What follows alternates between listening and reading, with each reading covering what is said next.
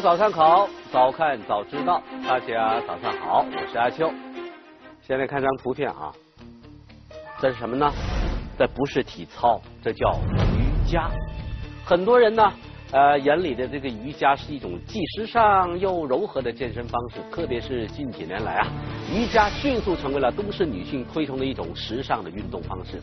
很多人呢，都选择练瑜伽来修身养性。放松身心啊，而瑜伽呢也以其优雅、安全、运动伤害几率小、适用多种人群等优势风靡全球。然而，记者在调查中发现呢，近年来由于练习瑜伽导致的受伤事件却屡屡发生。那么，练瑜伽到底安不安全呢？我们应该怎样正确去练习瑜伽呢？这里是生活早餐考，让我们一起去寻求答案。练瑜伽竟然伤筋动骨，甚至突然死亡。我是没想到第一天居然就第一天就去世了，就在健身房就。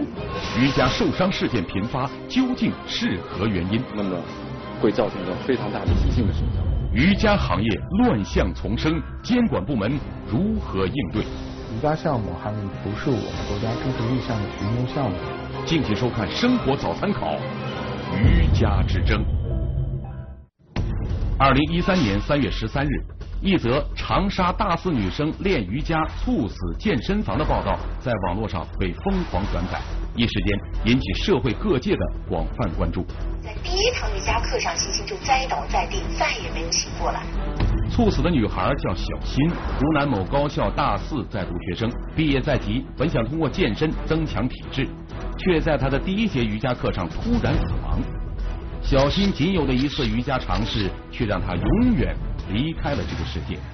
他要想到要照顾爸爸，爸爸身体也不好，然后他就想到保护自己的身体，就想个健身嘛。可是没想到第一天去了就第一天就去世了，就在健身房就。小新是家中的独生女，临近大四毕业，正在准备考研。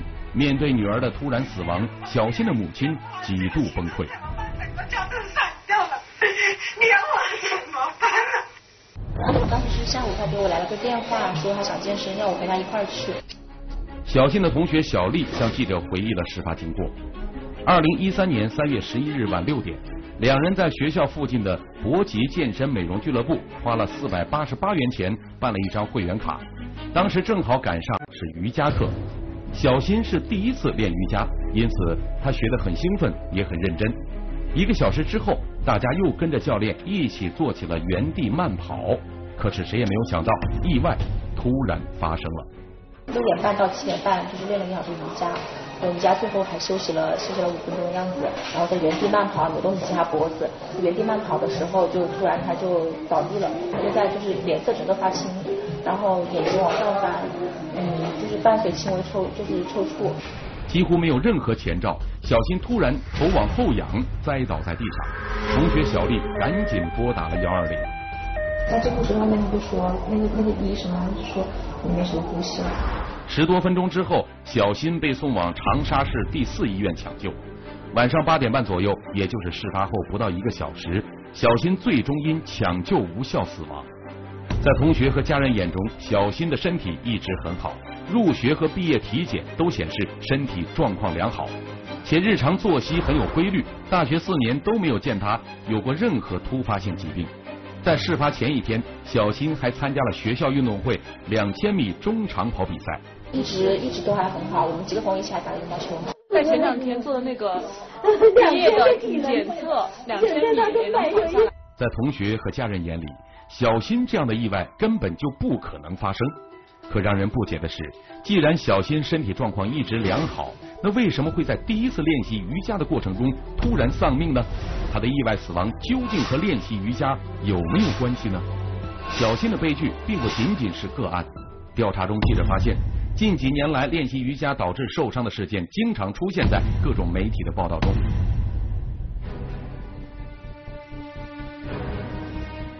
二零一一年。湖北的赵女士在练习瑜伽过程中惨遭大腿骨折，此事经媒体报道后，在工商等部门的调解下，最终瑜伽馆承担相应赔偿责任。二零一零年，媒体报道了上海郑女士练习瑜伽时因方法不当而导致腰椎间盘突出，一度不能下床，面临瘫痪的危险。核磁共振结果显示，郑女士的第四、五节腰椎间盘突出向上移位，导致左侧神经根部严重受压。回首自己噩梦般的受伤经历，郑女士几乎不敢相信，如此严重的腰椎伤害真的是瑜伽导致的吗？如果说突然之间给她一个外力，那有可能突然之间超出了我们这种关节和脊柱的这种的承受的能力，那么会造成一个非常大的急性的损伤。中国人民解放军总医院关节外科专家蔡虚告诉记者，近年来由于练习瑜伽导致身体受伤的病人日益增多。令他至今难忘的是，去年三月，他给一位二十多岁的姑娘做了一台关节镜手术。女孩在练瑜伽时，不知做了什么高难度的动作，竟然活生生把膝关节里的软骨带着骨头卡下来一小块，最后只能通过手术把它取了出来。瑜伽呢，对于颈椎和腰椎的伤害，最终都可有可能造成练习者瘫痪。程松峰，中国资深瑜伽评论人，研究瑜伽运动长达十年，他也是国内旗帜鲜明反对瑜伽运动的代表人物。这个瑜伽呢，就是说瑜伽的它的理论基础，还有它的实践方法，都存在着根本性的错误和方向性的误导。如果瑜伽练习呢不会让人受伤的话，那我就去做瑜伽大师了，我不会站出来批评瑜伽了。根据此前媒体的报道，全球练习瑜伽的人群正以每年百分之五十的速度递增。美国瑜伽练习者每年大约新增七十万人，而在中国。百分之八十以上的健身馆都开设有瑜伽项目，然而在这个统计数据背后，只有百分之十的中国瑜伽练习者知道练习瑜伽不当容易造成运动伤害。随后，记者走访了北京、上海、兰州等地的多家医院，了解到，目前医院的骨科、运动损伤科接诊的瑜伽受伤人数逐年攀升。让人意外的是，前来治疗的受伤者既有学员，也有不少是瑜伽教练。嗯，有的教练就是没有经过正规的培训之后拿到了证书，就对对学员开始培训，然后是不仅是对学员造成了伤害，对自己也造成了伤害。李女士，甘肃省兰州市人，曾是一名瑜伽教练，一年前因练习瑜伽离式、肩倒立式等体式。导致颈椎受伤。呃，像我本人的话，就是以前练习的时候有做一些肩倒立式呀、离式呀这样的体式，练的时候就是觉得颈椎这个地方，因为做的时候会把颈椎窝起来，久而久之的话就会造成一些伤害。李女士说，她以前非常喜欢练瑜伽，而且瑜伽一些高难度的动作，像犁式、肩倒立式，对她来说也很容易做到。而且一次能坚持十几分钟，但是在练习瑜伽半年之后，他的颈椎明显感觉不适。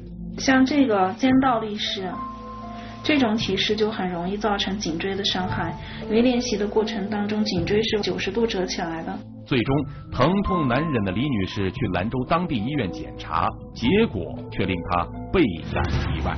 医生说我的颈椎有那个就是生理曲度变直。就是本来应该有的颈椎的自然的生理曲度，后来就变得变直了。医生说，李女士颈椎生理曲度变直，会压迫到不同的神经，从而导致颈部僵硬、活动受限、局部肌肉受损等症状。严重的还会导致头晕、恶心、走路眩晕等症状。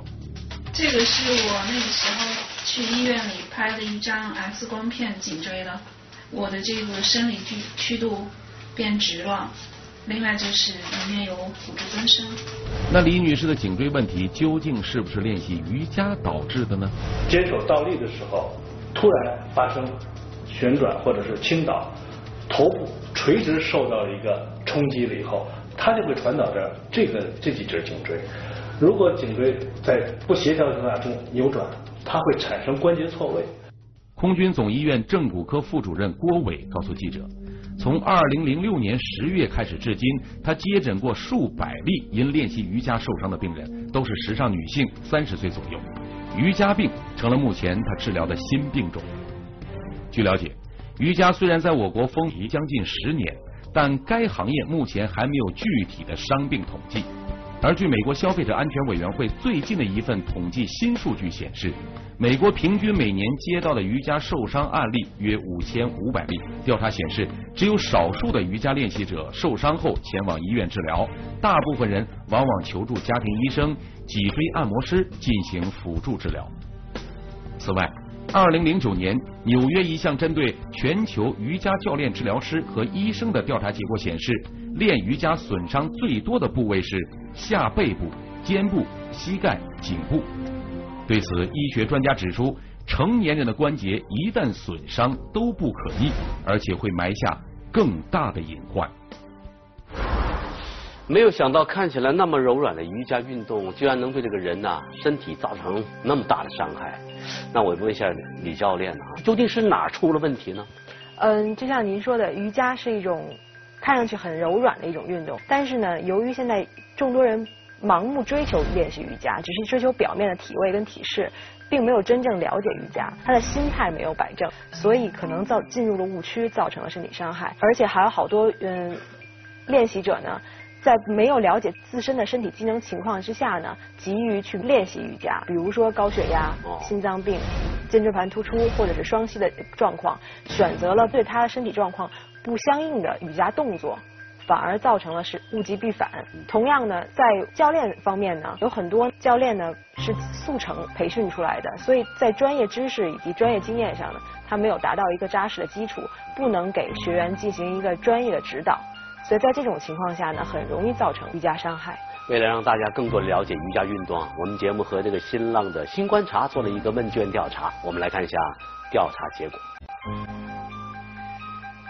调查显示，百分之八十四点七的人在遇到做不到的瑜伽动作时选择了放弃啊，还有。百分之四十三点六的人呢认为掌握不当动作力度啊及幅度会对身体造成伤害。哎呀，那我想问呢，我们该如何练习瑜伽？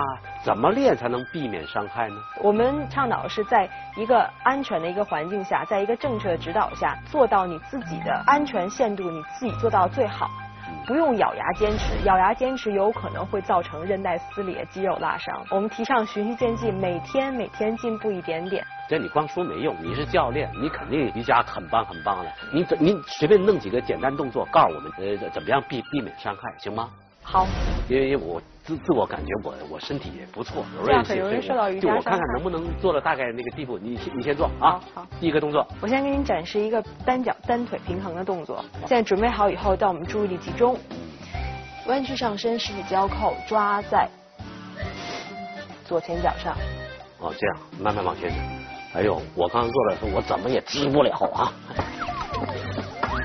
在这种情况下，就不建议您不建议吧？这样很容易导致，不但容易拉伤您抻抻拉几条腿，而且您下颚腿不稳定，您在蹦的过程中很容易伤到膝关节啊。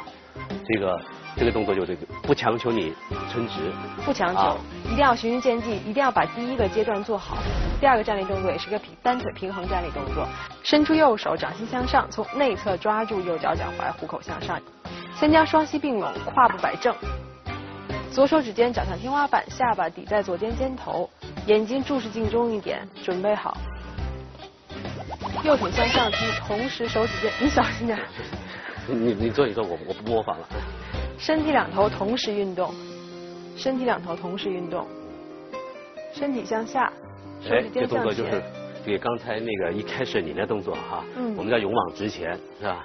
好，这个动作如果说不注意的话，嗯，哪会容易受到伤害？嗯，胯骨进行沉了，因为我们原本是将胯骨摆正，但如果胯胯骨摆不好的话，踢得很高，但实际上把胯骨全部都。拧歪了。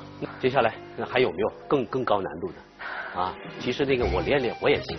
好，三角式，从山式起势开始，双手并拢，右脚向右跨出一大步，同时双臂与地面平行，掌心向下，弹动左膝，将胯部下压，直至你的左大腿与地面平行。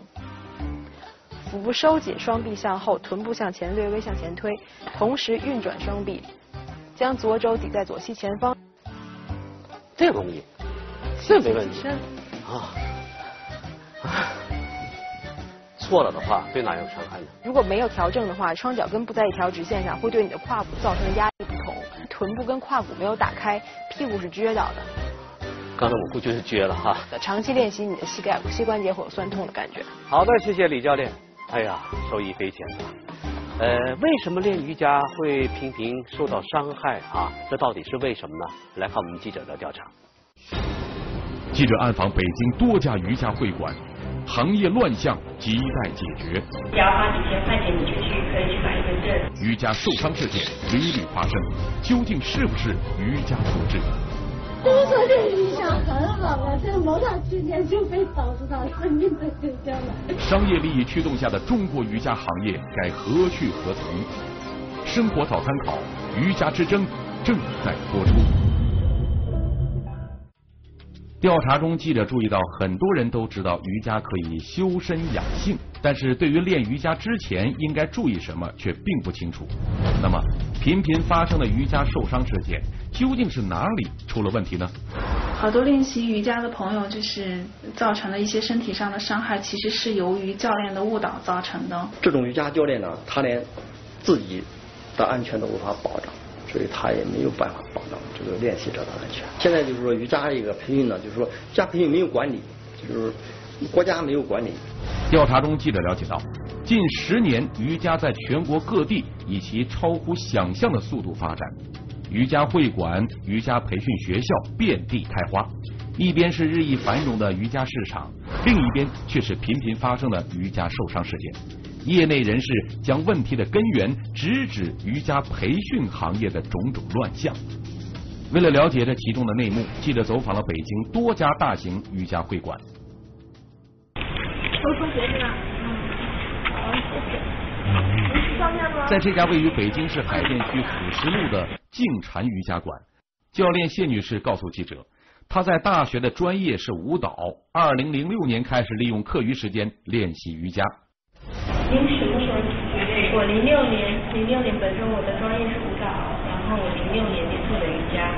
谢女士说，由舞蹈老师变为瑜伽教练对她来说并不难，因为她有舞蹈功底，再加上平时参加一些瑜伽培训交流活动，积累了一些瑜伽授课经验。去年六月，在北京开办了瑜伽馆。中国最早的瑜伽教练呢，都是经舞蹈演员和体操运动员出身，他们的身体的柔韧度非常好，他们经过三天，呃二十个小时的这个培训，他就可以出来做这个瑜伽教练了。但就是这样一位自称是高级瑜伽导师的教练，却没有任何瑜伽授课资质证书。这个东西你只要花几千块钱，你就去可以去买一个证。这个整体环境是并不很好，因为。太混淆了，就是什么人都能上手做。而当记者问到频频发生的瑜伽学员受伤事件时，谢女士说，自从去年六月开班至今，她的班上没有一个学员受伤。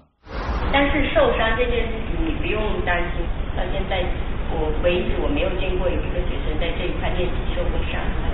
受伤这件事情不单单是老师的问题，而也大部分可能也是自己学生自己本身的问题。谢女士说，练习瑜伽受伤，大部分是学员自身练习不当造成的，反而有一些颈椎、腰椎病的学员，在他这里练了一个月之后，身体都恢复了健康。因为我这一块是有有些会员有颈椎病，他大概练了半个月，因坚持，然后呢，他来了一段时间，他告诉我这块现在不疼了。对于谢女士所说的练习瑜伽能缓解颈椎、腰椎病人疼痛的说法。程松峰则明确表示怀疑，这个事情是不可能的，它本身是一种错误的方法，你不可能说通过某种局部的细节的调整，不会对你造成伤害。为了进一步了解瑜伽受伤事件频发的原因，记者又来到了位于丰台区青塔西路的静月瑜伽会馆。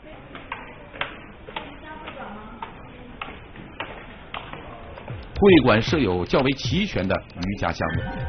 前台工作人员告诉记者。净月瑜伽会馆目前有七名瑜伽教练，其中六名教练没有相关资质，但都具有三年以上的教课经验。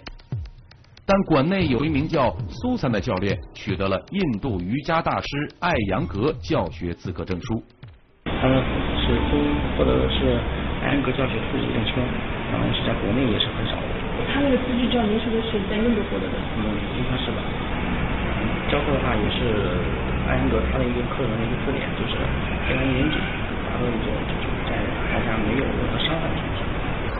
在瑜伽行业，艾扬格被公认为目前在世的全世界最伟大的瑜伽导师之一。他是艾扬格瑜伽练习法的创始人，他的《瑜伽之光》《光耀生命》等著作风靡全球。但艾扬格推行的瑜伽适合于每一个人，并对疾病治疗效果显著的理论，真的有效吗？调查中，记者也听到了不同的声音。这是二零一二年美国《纽约时报》著名科学专栏记者布拉德的一篇关于瑜伽的报道。文章讲述了美国资深瑜伽教练格伦布莱克以一则故事来阐明自己对于艾扬格瑜伽的观点。他在印度艾扬格学院求学时，有个学生做了脊柱大扭转的动作，结果只听其肋骨嘎嘣响了三声就断了。布莱克说。这个场面简直让他难以置信。在进一步的调查中，记者注意到，业内人士对于艾扬格祖孙三代、艾扬格大弟子、中国艾扬格瑜伽学院教练等人的怪异形体也说法不一。二零一一年中印瑜伽峰会视频中，艾扬格走路时明显的一瘸一拐。对此，程松峰等瑜伽反对者称。练习瑜伽导致的脊柱、骨盆、骨关节损伤，就可能造成这种怪异形体。安格自己走路一瘸一拐的，你看亚拉什自己的身体，他是不是一个正常的健康人的这种体型？而艾扬格在其著作《光耀生命》一书中，专门有一章内容阐述了要练习瑜伽必须忍受痛苦的观点，而程松峰对艾扬格的观点提出了批评。认为这种观点是在为瑜伽伤害所造成的痛苦圆谎。此外，翻开艾扬格的另一本著作《瑜伽之光》，记者注意到，书中介绍了几十种瑜伽高难度体式，如离式、肩倒立式、头倒立式。此前受伤的瑜伽教练李女士认为，这些高难度体式都需要练习者具备较高的身体柔韧度和耐力。并不是普通瑜伽爱好者轻易能够做到的。他认为自己恰恰就是在做肩倒立式和犁式练习过程中造成了颈椎的伤害。像这个犁式，也是很容易造成颈椎伤害的体式。练习的过程当中一定要注意，一定要就是颈椎不好的朋友一定要避免练做这种练习。像这个双脚离式。也是离式的变体，还有侧离式，这两种体式都会对颈椎造成一定的伤害。对于瑜伽可能造成的伤害，从业者和反对者观点截然相反。为了了解瑜伽教练的资质问题，记者又来到了位于石景山区的双月百合瑜伽馆。哎，你坐这儿吧，我给你看一下。你你就只要你一分钟。教练的有资质吗？啊，都有。咱们每个老师这些年都在三年以上，是在专业的培训机构毕业的。工作人员称，双月百合瑜伽馆的每一名教练都有授课资质。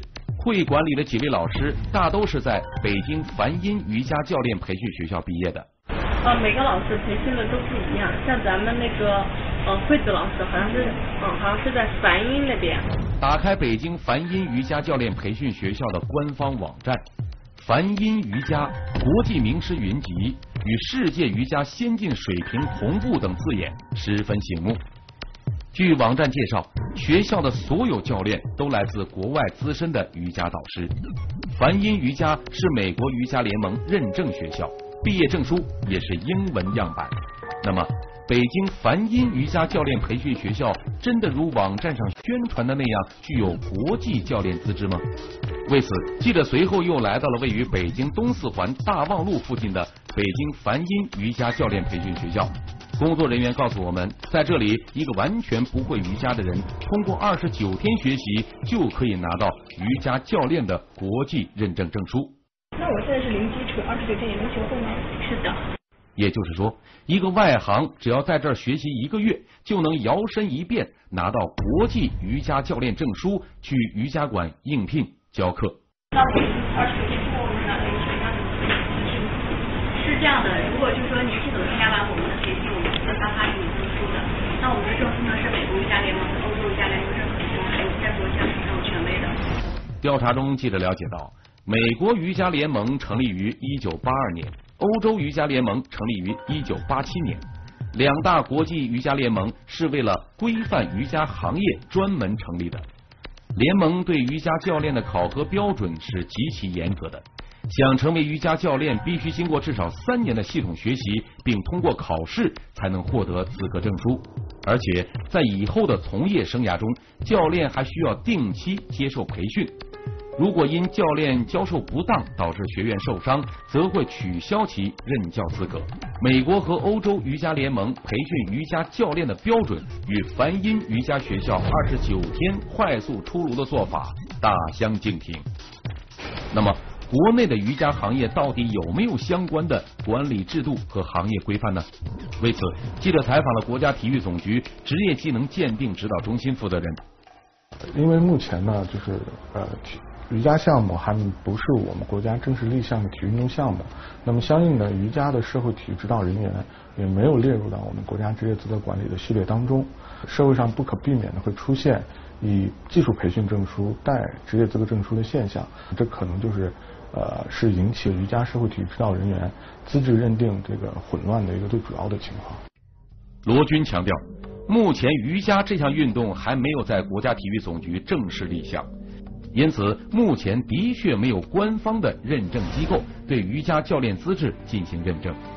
针对目前瑜伽培训行业还没有相关国家标准，部分瑜伽从业人员及整个行业都缺乏监管和规范的问题，罗军表示，国家体育总局已经开始着手对瑜伽运动的管理进行调研。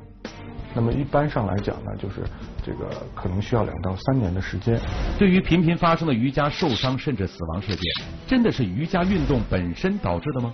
前面节目中提到的练习瑜伽过程中受伤的郑女士和李女士，她们的命运又会怎么样呢？小新，一个即将毕业的大四学生，他的意外丧命令人惋惜。很好啊，这某场去年就被导致他生命都丢掉了，就练没了。你说我怎么办？